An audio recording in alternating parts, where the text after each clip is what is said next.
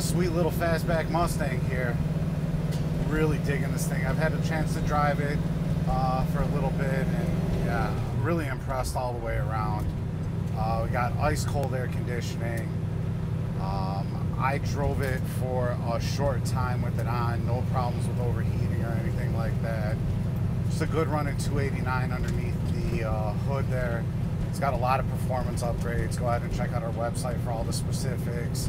I know it's got aluminum heads and Holley Brawler 650 carb, I believe it is, uh, set of headers, uh, a whole bunch of other stuff going on too. So yeah, check out the website. It's supposed to be making over 300 horsepower, and I believe it is very adequate. Everything's been rebuilt. The suspension is redone. It does have a, uh, a, a modest lowering uh, springs on it, um, and that doesn't not seem to be an issue.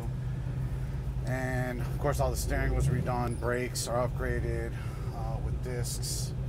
It's a great car. Uh, starts every time, very reliable. And now we're gonna see what she's got.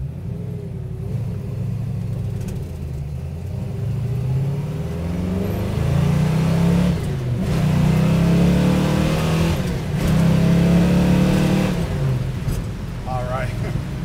Just like that, up to speed's no problem that was with the air conditioning on right there. So, I mean, yeah, impressed every time.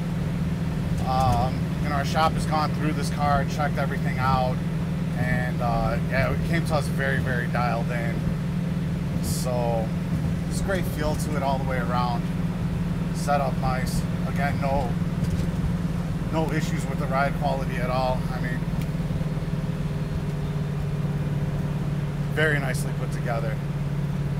I would take this car on a, on a longer cruise if that's what you want to do with it.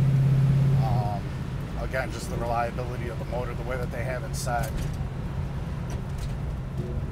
Very impressive. Come out, take it for a test drive. Uh, we got nothing to hide, of course. Total transparency. We're only about a half hour drive outside of O'Hare International Airport if you need to fly in to do that. So, um, by all means, it's a fantastic car. Check out all the detailed pictures and the description on volocars.com.